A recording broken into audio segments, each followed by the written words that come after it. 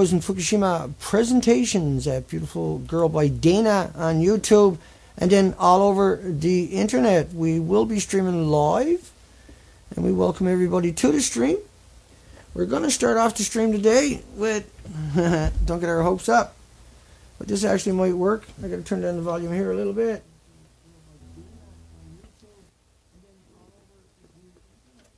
So we are streaming live.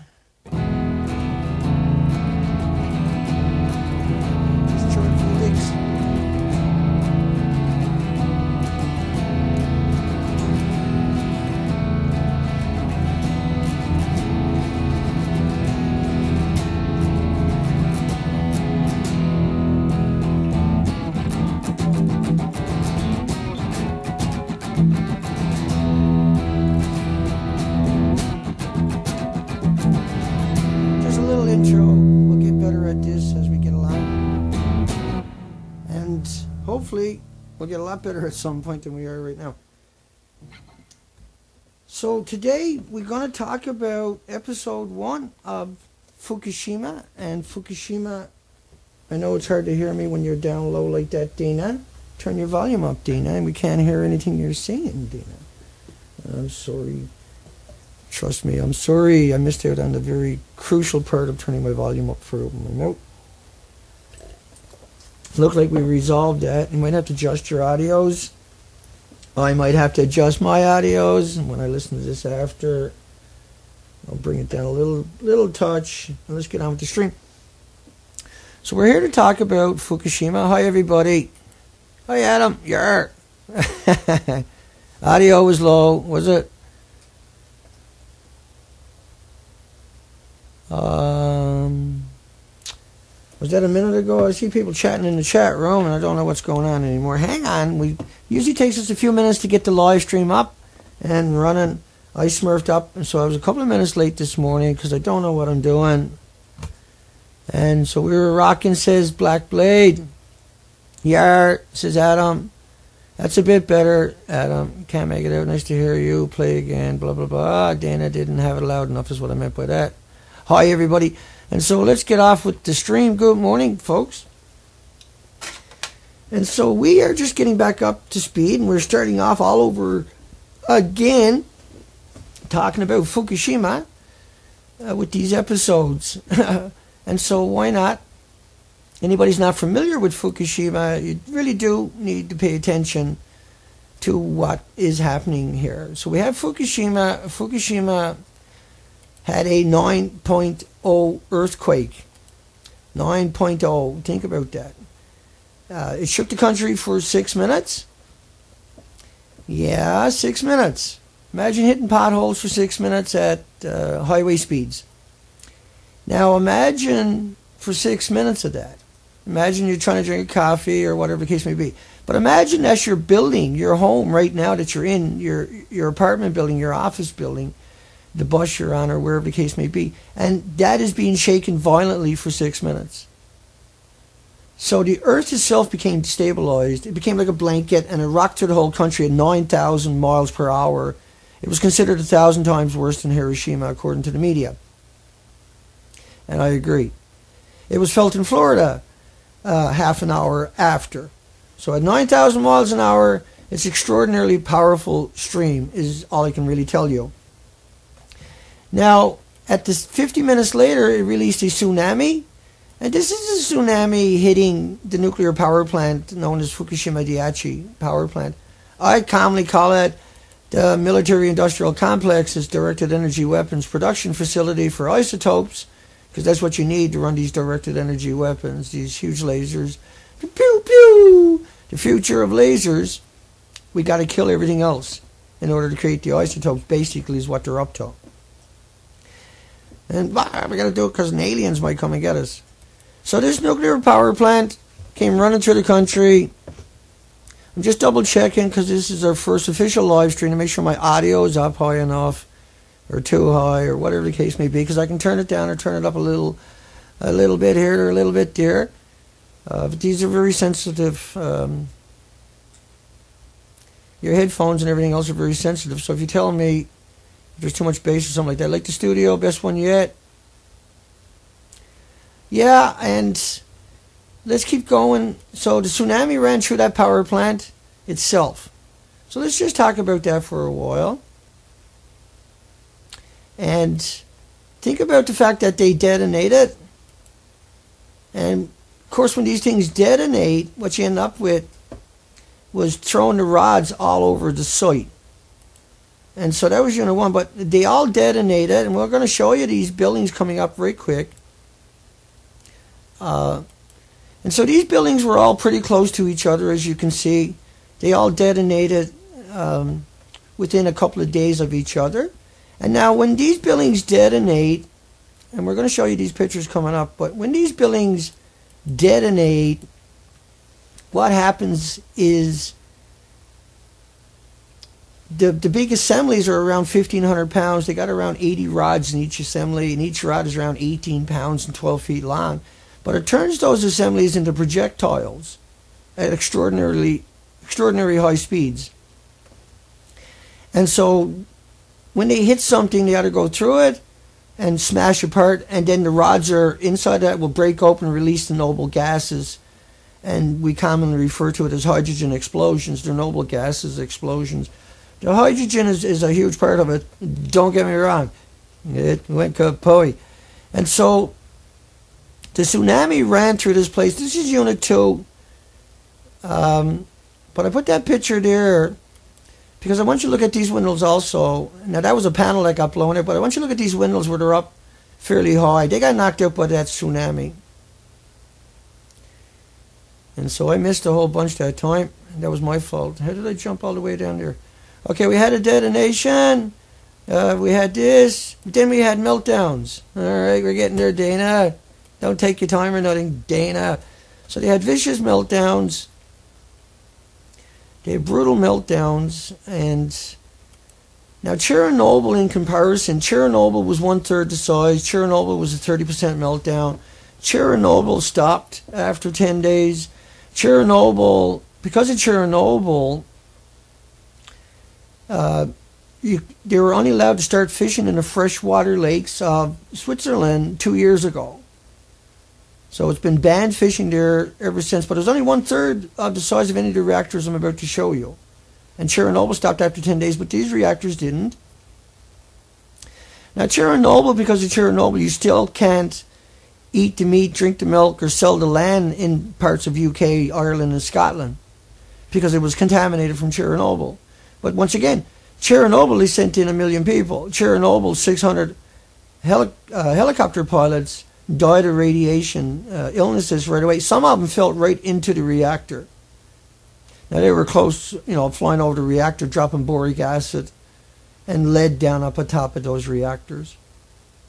And there's a good chance that what stopped the chain reaction in Chernobyl. They, they, I can't remember how much, but it was it was a stupid amount that they dumped down and people that they sacrificed to do it. But but allegedly, as far as we know, they stopped it. The chain reaction stopped on its own, apparently. But I'm looking at the data, and we've seen 600 helicopter pilots flying out there all day long, dumping boric acid and lead, people falling out of the sky. All of them died of radiation sickness. There's a good possibility that they saved humanity. Because if Chernobyl had lasted 20 days instead of 10, it would have been equal to 800 Hiroshima bombs. And if Chernobyl had lasted all the way up to today, it would have been a half a million Chernobyl bombs. But under that scale, using the Chernobyl model that's already established and vetted and verified. Hi, Kate. And Kate's got the Fukushima Hounds. And so soon I'll get the links under these uh, videos. It's a lot of trouble. Just, it's a lot of trouble. And I don't stop. Just don't stop. But anyway, here's Unit 1. Unit 1 is now confirmed, lost its inventory, 100% meltdown, a melt through, a melt out. This is many. Chernobyl is a candlestick compared to Unit 1, just Unit 1 alone. But what's surprising about this story is Unit 2. Now, Unit 2, hang on, Unit 2 coming up. Think of Unit 2 um, was the one that they alleged ran away from the power plant because of. Unit 2 outside of it was over a million sieverts uh, per hour. uh, after the accident, they plowed the rods under. They plowed those rods with big uh, remote control bulldozers before they were able to get in there. There was no way to get water into those reactors or cooling pools until they brought in a plow or a big bulldozer to plow these rods out. So five sieverts would kill you. What will a million do to you? Well, it'll melt all your organs in a few moments. Let's put it that way. Within 15 minutes, your organs will be liquid.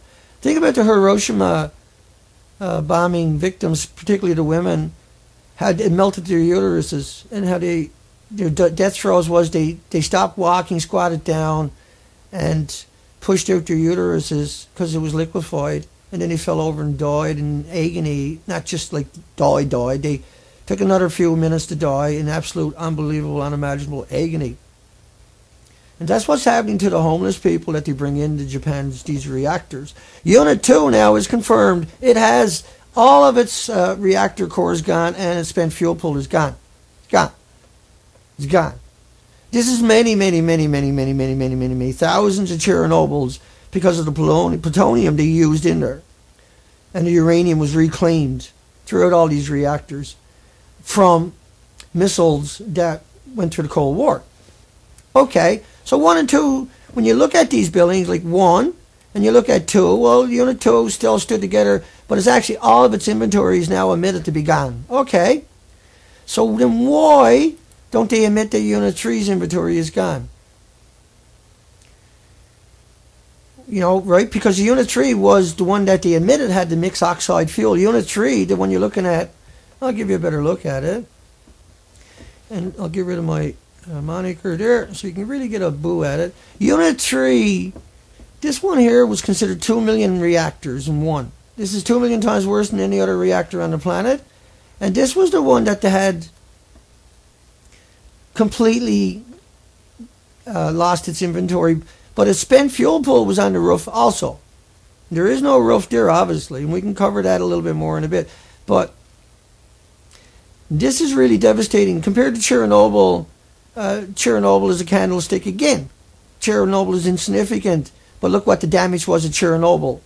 Now, Chernobyl, Kofi Annan said in 2002 that over a million Three million children have permanent disabilities in Ukraine because of Chernobyl, and that the New York School of Medicine published 3,500 translated peer-reviewed academic studies showing a million of cancers, uh, deaths. Now there's 1,800 autoimmune deficiencies that show up before cancer. Cancer is the last one to show up normally, unless you're. But cancer takes a long time to kill you. And so heavy doses of radiation, you can't get cancer and die right away. You died of radiation. It melted your organs, it destroyed, it created these permanent lesions in your organs. Like children only need 12 becquerels or 11 becquerels a kilogram in their food of of man-made ionized radiation. And we're going to look at four here in a moment. But so what makes the radiation from the reactors different?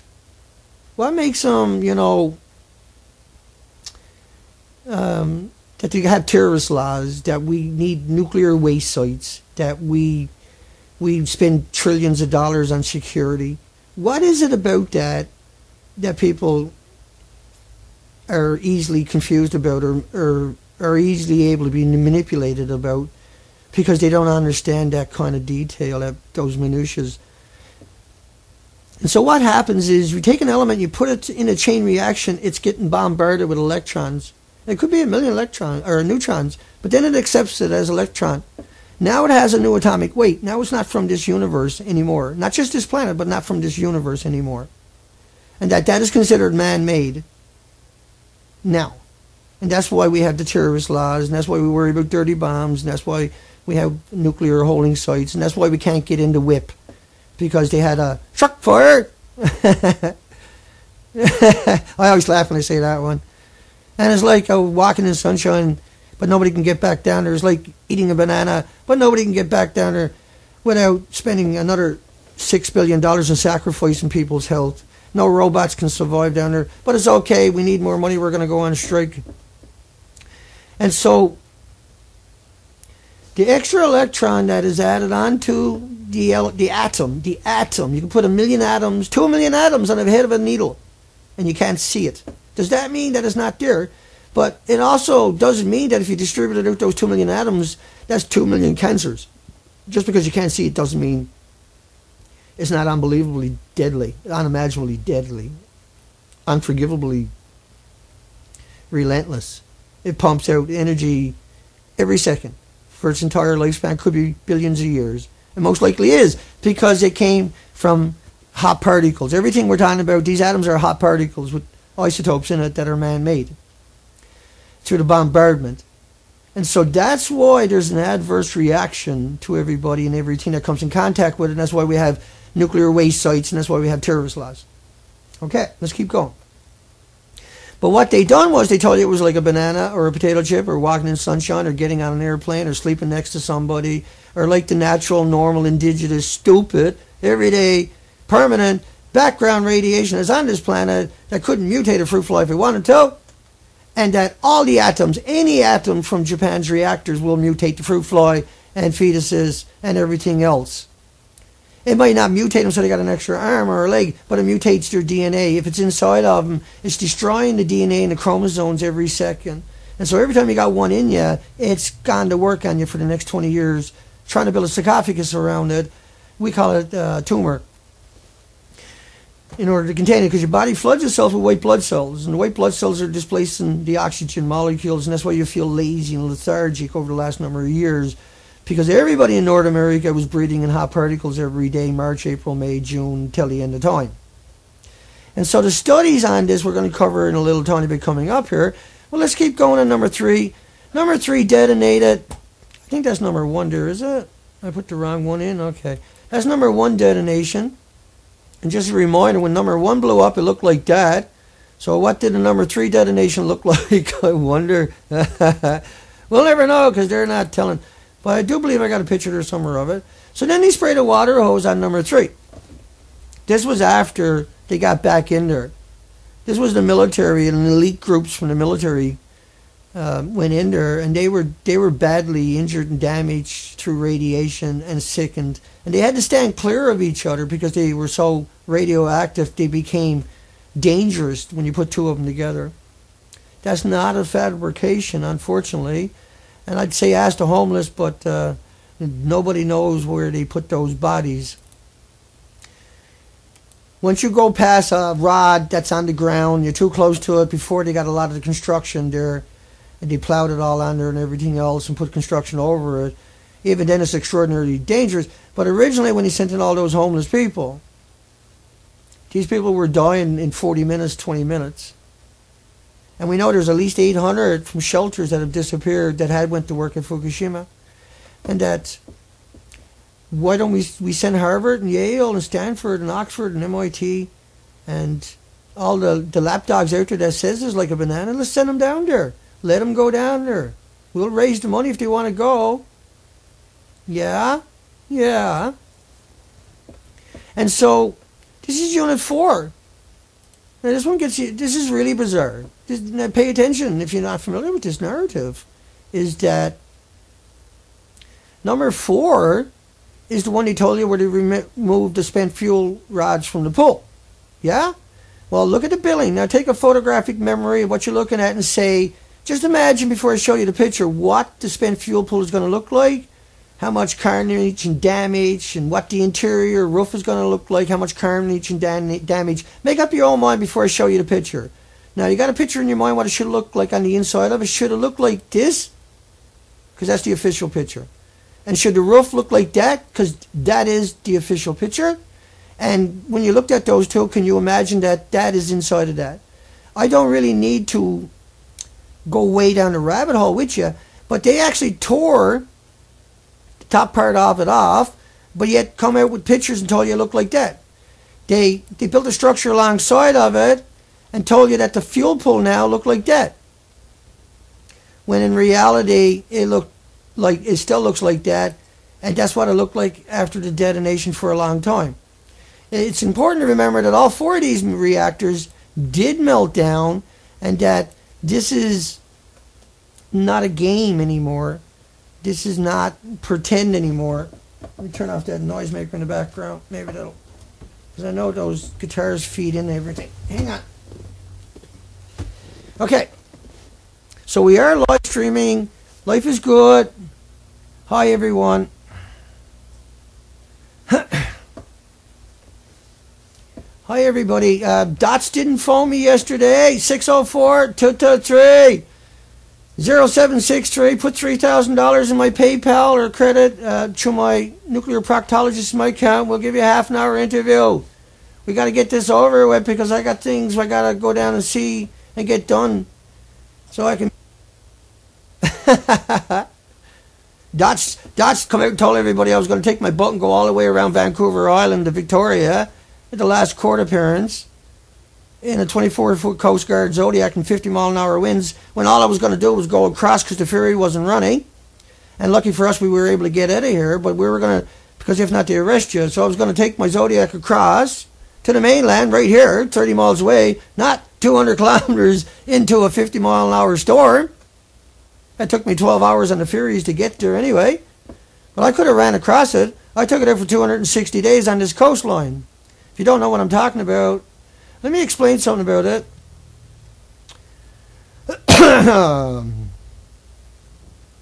so we took this zodiac coming up here. Yeah? We took that. We took that along. We took that. I screwed that up. Okay. We took that uh, 15,000 miles of coastline and we looked at the tidal zones and instead of looking like that, it looked like that. Instead of looking like this everywhere I went, it looked like that. And sometimes you find a little bit of algae, but all, the algae and the kelps and everything else. So, let me get rid of that for you. Let me stop that before it gets stupid. See, that's not supposed to do that. That's my fault. but anyway, we we took the boat 15,000 miles of the coastline and what we show is that the coastline didn't reseed itself. All of its species are missing, and it didn't reseed itself. It's okay, Zoe. Hey, folks. Hey, buddy. Let me turn that down. We'll take a little break here, folks. Hang on one second.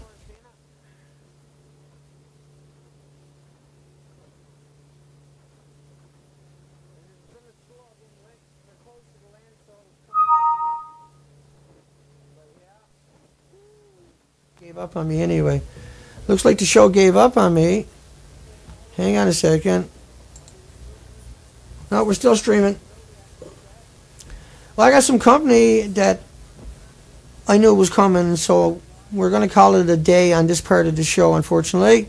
And I know everybody would like for this to go on and on and on, but that's not. Um, it's Sunday, so we're going to give it up early today. And I am having problems with my stream here. We just wanted to make sure that we come out and we showed all the buildings. We'll just finish off by talking about uh, number four, or the tsunami. So the tsunami came through the country. Tsunami came through the country and it took out 500 miles of the coastline. And let me show you a picture of that. And so there was no way to get power back into those reactors. And so tomorrow we're going to pick up right there at this spot here and of course, it's it was such a struggle for the last 20 days to get to this point and get ourselves back up and streaming again. And that um, that was the best thing that could have happened to us in one sense, is they exposed themselves by arresting me and then accusing me of uh, death threats when I'm not charged with death threats. Death threats is a much more uh, uh, bigger charge, a much more serious charge. I'm charged with criminal harassment of people who said radioactive fallout couldn't make it to North America, and that those people do not have a leg to stand on. So hugs for everybody. We'll see you tomorrow morning. Uh, for the regular shows, will be one hour long, 10 a.m. Pacific Canada time, British Columbia time. Hugs for everybody. Take care, folks.